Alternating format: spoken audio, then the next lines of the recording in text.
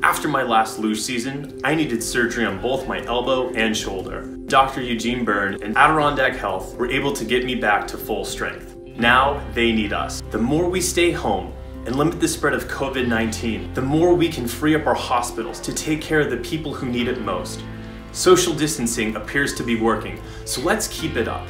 Do it for you, do it for your community, and do it for our friends who are working hard to keep this amazing community healthy.